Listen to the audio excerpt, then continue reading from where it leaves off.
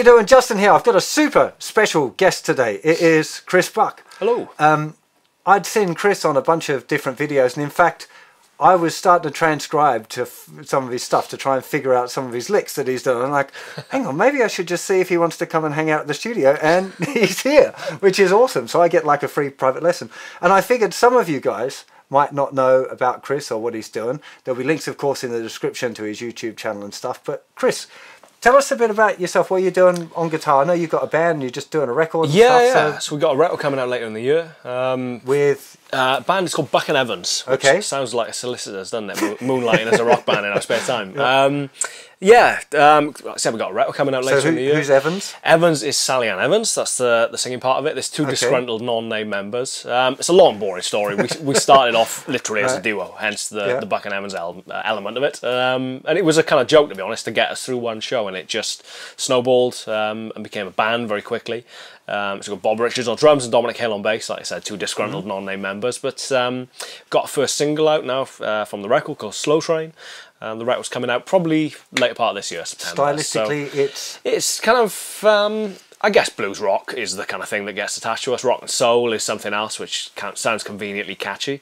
Um, sounds like a fish shop, doesn't it? Quite- rock and soul. quite- quite Um, guitar-y. Yeah, yeah, fairly guitar heavy, I guess, but very much you know song based stuff. I guess that's always been the sort of the prerequisite for anything that we've done is Mm-hmm. that I guess the temptation is as soon as you know that the singer in a band can sing a bit or the guitar player can maybe play a little bit of guitar, you know, you kind of temptation is to lean on that a little bit too heavily. But you know, all of our favorite records, all of our favorite bands, whether it's Fleetwood Mac or whether it's you know Tedeschi Trucks mm-hmm. band, any of the influences we have collectively or individually, it's all very much been a case of the song comes first, and if there's any kind of cool virtuoso moments then in that, then more power to it. You know? yeah, yeah. But uh, make sure the song is first. So it's it's an album of, of songs, you know, whether they're any bloody good or not. I don't know. I'll let you guys decide. but um, I, I haven't heard it yet, but I'm gonna check it out right away. When's the actual album? um, it'll probably be out in September, I guess. September. So the first, like I said, the first single is "Slow Train," and that's on all of the uh, Spotify, YouTube, Yeah, iTunes, all that kind of jazz now. Wicked. Cool. So, uh, yeah, So that's your band. Mm. Now you've been doing. You've got a long-running YouTube channel as well. yeah, for, for my sins, um, just kind of delved into the YouTube thing, to be honest. Um, much at my wife's behest, to be honest. I was sticking videos on Facebook and Instagram and all that kind of stuff, and starting to you know accrue a couple of views, and I kind of shied away from the YouTube thing. I started putting videos of myself on YouTube donkeys years ago. I must have been about 16, I guess, and just as a little bit of an outlet. You know, I didn't have a band. It was just me kind of jamming along to my favourite tunes. Started sticking videos of myself on there. Then that channel got taken down for being naughty for copyright infringement or something. I can't remember what it was, but um, I just left YouTube alone for a very long Uh-huh. time. And then, as I said, my wife was giving me some jip about the fact, that well, start sticking them on YouTube, and even if it's five dollars a month or whatever, you get a couple of quid from people actually watching the videos. Um, so I started doing that, and it's turned into this thing. So I do a weekly. Um, I'm talking to the king of guitar YouTube now about my lowly little show. Dude. Um, but yeah, I started doing it about a year or so ago, and in that time, I guess, of just past twenty thousand subscribers. So it's growing slowly, but um, yeah, I think all Friday Fretworks, which you know, as the name suggests, is Friday, and it's about guitar, and it's just you know whether it's a concept, conceptual thing, talking about an element of what I do, or guitar, or pedals, or amps, or you know whatever. So a whole range of different. Oh, whatever I can f- find to fill 15 minutes every Friday, to be honest. So, uh, but uh, yeah. so you know, just various things, doing the old Instagram thing, you know, as everyone is these days, just keeping it, keeping it ticking over, and trying to make a living out of this thing. That, um, yeah, just avoiding a proper job is Yeah, my, right. my aim, to be honest. So, did, Avoiding a proper job is definitely priority number one. three I months in for all of McDonald's when I was 18, so I've had a very brief experience of being a proper, being a grill wizard, as they used to call me, for Yeah, the yeah. for the brief time I was there, and that was that was enough of that. So. I did two months working in a pub in Chiswick. That was the only time I've had like oh a, man, a real job. Uh, Any kind of any kind of service based stuff like that, I've got utmost respect and just sympathy for anyone who does it because I can't think of anything worse. So, but um, anyway, Pretty that rough. digressed. And, and you're doing some demo stuff as well, right? yeah, bits and, companies? bits and bobs. You know, working with Yamaha now for a while and just you know keep my toe in and. You know, you, I guess the, the prerequisite in that respect is, you know, I've got to use stuff I like, you know, so Mm-hmm. I'm never never going to be the guy that kind of does a demo of something or talks about something because they paid me to say it or whatever. You know, Yeah, I've got yeah. to like something, and uh, that's always been at the root of it. And you know, genuinely very much like the Revstars I've played. Uh-huh. You know, so And they're nice people. Um, yeah, should put they're great people. That's- They- that's Yamaha a- are nice people, and there's a lot of industry wankers around. So Yeah, it's really nice when you meet a company where the people are nice. Absolutely. That's the I guess the temptation is to look at a company like Yamaha and think big corporation, Mm-hmm. faceless, you know, kind of anonymous company, but it's very much boils down to a couple of guys, Mm-hmm. you know, Mark that I deal with, and all lovely people who very much love what they do and love kind of associating with players, you know, like myself. So it's um yeah, it's Mm-hmm. you do cool. stuff with Boss as well because Boss are also another Yeah. company where the people are really nice. Yeah, absolutely. you know, um, you know, Matt and Jay at, uh, at Yeah, Boss, yeah. lovely people, and it's so the temptation is to look at these companies and think it's going to be someone in an office Mm-hmm. a million miles away, but it boils down to people on the ground who are who love what they do. Matt, especially, I've never met anyone who's so passionate about what he awesome, does. Isn't he's, he's a lovely guy. So, yeah, and, and we both play grey guitars. we do. well. yeah, I, think- thought we'd bring it along and we. Yeah, I've got a feeling that they were they were kind of um, uh, they were in the womb at the same They time. They were, yeah. Yeah. There were pictures of them together. Absolutely. Um, no, I, I remember when I stuck my head into Tom's and just to kind of see how this was getting on. Yours was Uh-huh. on the bench being sprayed and stuff. so Yeah, yeah, yeah. I've kind of felt like I've watched them both develop. So But it was kind of your fault that I ended Oh, up getting one yeah, because maybe- I heard you're playing on his stand at the guitar show Right, when I was doing yeah. like a thing around the corner. It was like, oh, hang on, this is it kind of pricked my ears up, and I went over and played one, Yeah. and was like, this is possibly the nicest strat Yeah. type guitar I've, I've played. I that, think I need that to. Blue Emperor sold him a lot of guitars, I imagine. Yeah, sold yeah. a lot of guitars for him. It's um, that was, I think. But they- I feel like these are as nice. Yeah, oh, that. absolutely. I don't feel like He's- that that one's markedly better I than. think he's hit a level of consistency, isn't he? Which is great, Yeah. you know, because you know that was essentially what I said to him: is if you're not going to give me that guitar, make me that guitar. Mm-hmm. Yeah, yeah, You know, so um, which I think is a, a probably a frustrating point for him at this point, to be honest, because like I said, everyone plays that one. And it's like this is amazing. Make me this one. He was like, I make other stuff as well. Not make me that one. That exact guitar. Yeah, yeah. But um, yeah, he's uh, he knows what he's doing. But you've got your own pickups as well, haven't you? I have, think. yeah. Um, so I think you might have. I, I've, I have one. so um, Same same company made yeah, of so, so yeah. Radio Shop. Um, that goes back a couple of years. They got in touch. I mean, they're relatively local to me. I'm all of about 15 minutes away from them, so it kind of made sense to Mm-hmm. at least start working together in some respect. And I tried some of their stuff and very much liked it. Being me, being a panicky old bugger, I had a couple of kind of things I would change, or things Mm-hmm. I wanted to try differently, and. And Paul and Paul, who run Radio Shop, um, found out recently the other day. For two Pauls, it actually started as a three-man company. You can probably guess what the other guy was called as well. No. Three Pauls. Wow. Um, it's incredible, isn't it? What the odds? But um, they just are fantastic at what they do and have a, an appreciation and understanding of pickups and what makes a pickup tick or sound good Mm-hmm. beyond anything or any realm of my understanding will ever be at.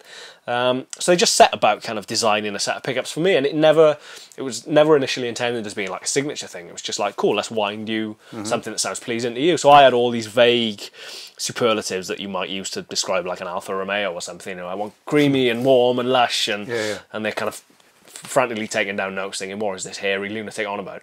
Um, and yeah, about six months later, after a couple of kind of you know um, incarnations of the the Mm-hmm. initial Mark pickups, we we ended up with what are now my signature pickups. And again, that was just a kind of well, if you like them, other people might like them as well. Let's release them as a signature thing. Is, So. is there a, a trick with them, like they're noise free or, or they're wound a particular way, like the they're particularly bright or MIDI or. the thing that they kind of very much sort of sell as the unique selling point, I guess, is that they are reduced potting. The idea being um, they potted enough to avoid, you know, kind of microphonic mm-hmm. feedback, I guess. And that's a question I get a lot. People reading that they're reduced potting is how do they stand up at high gain levels mm-hmm. and high high volume, when you know, on a loud stage. And I've yet to have a problem with them. They're great whatever mm-hmm. level stage we're at, whether it's small little club stages, which as you know are ten times louder than the big stages. You know, um, they've always been great, and that's the thing they go for. And their their theory behind that is that obviously wax potting, I guess, is integral to stop pickups being microphonic. But if you cover something in wax, this going to be inherent tone properties in that, you know, and you maybe detract from it. And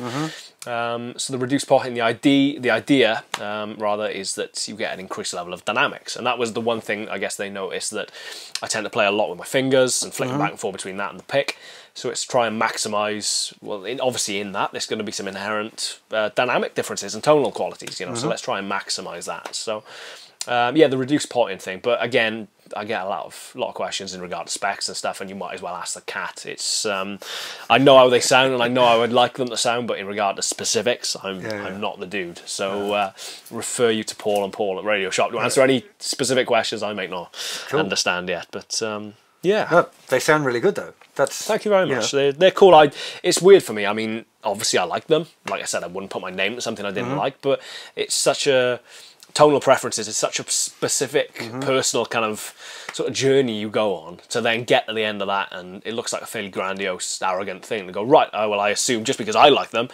Other people uh-huh. might like them as well, so it was a little bit of a, a leap into the unknown in that respect. But they've been, you know, kind of incredibly well received. Whether it's players, I think there's mm-hmm. a set on every continent now, and um, Guitar Magazine's kind of raving over them. They had a nine out of ten review in Guitar Magazine not so long ago. So yeah, it's been been a good journey so far, to be honest. And at every point, I'm genuinely just it's cool that people like them. People dig I think them. it's you know? worth you realizing that if you, yeah, this idea that if you like something, Yeah. then probably other people will because, and it's not necessarily like just because you like them. It's because you care about your sound Mm. Yeah. a lot. I think and you can maybe hear stuff that people couldn't name. So Yeah, they can yeah, probably yeah. hear the difference, but you can hear it enough to go.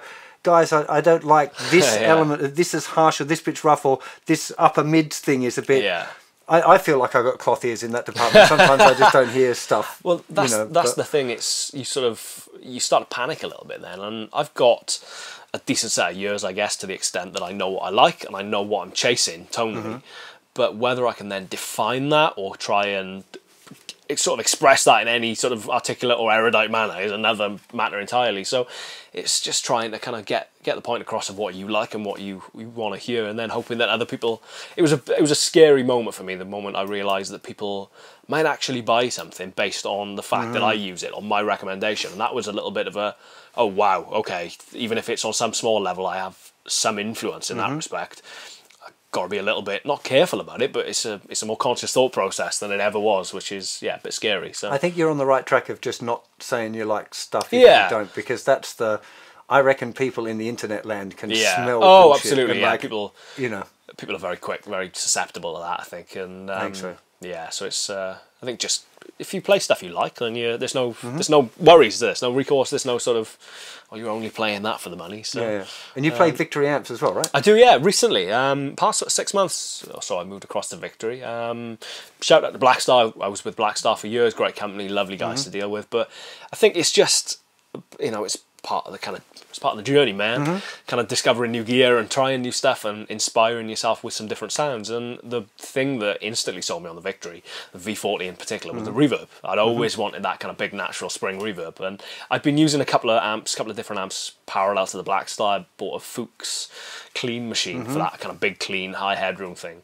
Um, and that had a great sounding reverb in it, but there was a couple of things. It's quite a dark sounding amp, so I was looking for something a little bit brighter than that. And the V40 just fell perfectly into that sort of thing. Quite, and kind of Fendery. it I, is, I like yeah, it a lot, very, you know. very kind Yeah, of um, sort of that- yeah, Fendery is the word, isn't Mm-hmm. it? Um, and the V140, now the Super Dutch Duchess, recently, Mm-hmm. obviously the kind of extension, the way they describe that, which is entirely spot on, is the V40 on steroids. It's that kind of just a muscle bound version of the V40, I guess. I've been really digging that recently, but just again, lovely company to deal with. Just great like a guys, higher so- headroom, Yeah, right? I've kind of again, it's part of the journey I'm on. I've no doubt I'll end up using a five watt champ one day, but um, as long as it's got reverb, I'm happy to be honest. But um, I sound terrible without reverb. But um, You sound like a reverbaholic. yeah, well. oh, absolutely. If I can get swimming in it, I'm uh, more power to it. But um, yeah, the the high headroom thing is something I've kind of been digging more recently, and again, it's a journey. It'll, my taste will probably change at some point. Should we explain high headroom out there Yeah, for somebody who some- doesn't?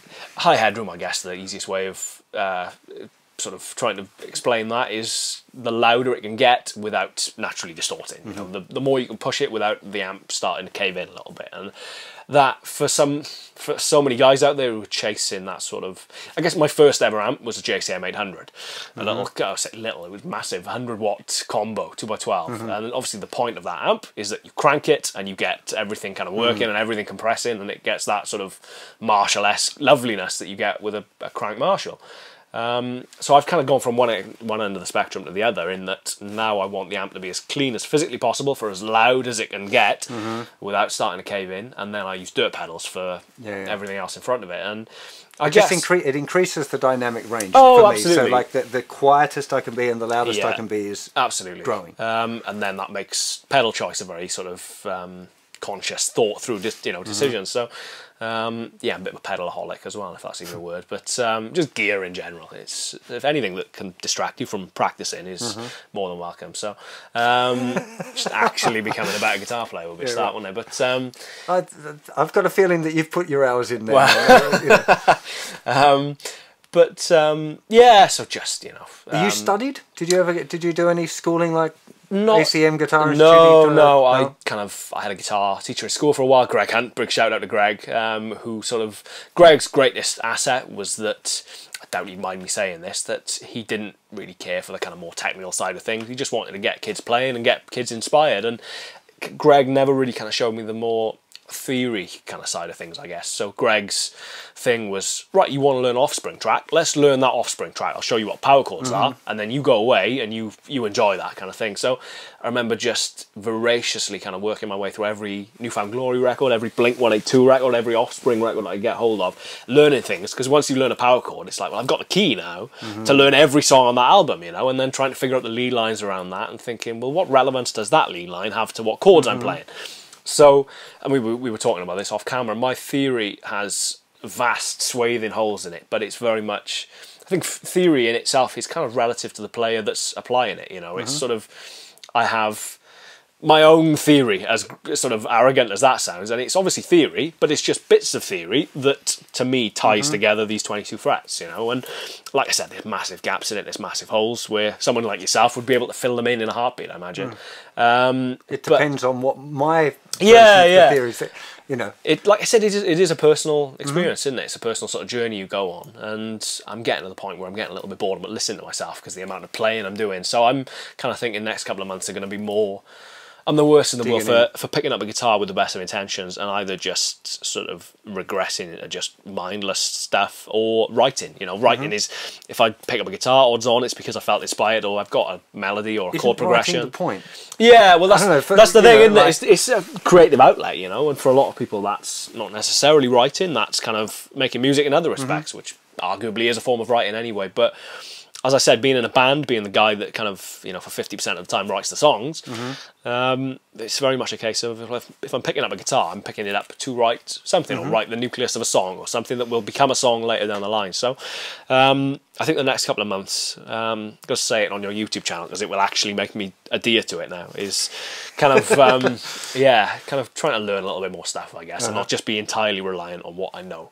It's funny. I've, I I haven't done it yet, so I'm not doing it YouTube yet. But uh, I keep threatening inside Mm. to do to make a commitment to do like an hour live video practice every Oh, day. right, yeah, yeah. To like force myself to do at least an hour of practice. And I was thinking like rather than just an hour of practice, I should make it specific. So I keep thinking I'm going to do like an hour a day for the next six months of like trying to play like Joe Pass or Yeah, some sort yeah, of yeah, like yeah. something that I, is really challenging, and then just let the internet watch me fumble around like an, an idiot. For, If, if you've got the I'm not of, sure. if you've got Yeah. the diligence and the sort of um, kind of staying power to do something like that, I imagine it would just improve everyone exponentially. You know, it's but it's actually doing it. But yeah, it? exactly. You know, I get too busy, or like my kid will get sick, and then you know there'll be an infinite number of excuses. that I've got I'll no. Find. just, laziness is my only excuse. So uh, yeah, laziness and uselessness. I but don't think um, that you're either. but, um, now, uh, what I would like to do now in the next video. Cool. so like, we'll tail this one off, unless there's anything exceptionally interesting that you'd like to share with. I don't think I've ever said anything exceptionally interesting in my life, to be honest. So it would be uncanny if the Oh, first time was on YouTube. So Uh, self-effacing is really nice, but you know, um, uh, one of the things that I wanted to, well, why I asked you over, other than just to say hello and go for a beer or whatever, was you've got these really nice embellishments going on that I think Cool. I can't be the only one who's gone. Yeah, that yeah. sounds really awesome. So stay tuned on the channel, and you'll find another video of me asking Chris how the hell he does that. Please show me how to do it, and then I'll try and share it with you at the same time. So uh, hopefully, I'll see you for that more very soon. Check out the links to Chris's YouTube channel and website and all of that sort of stuff, which will be in the description, and some extra links if you click the link over to the website where I'll put some more examples of stuff and links to Lessony Bit. Say bye bye to the internet, Chris. cheers, guys. See ya.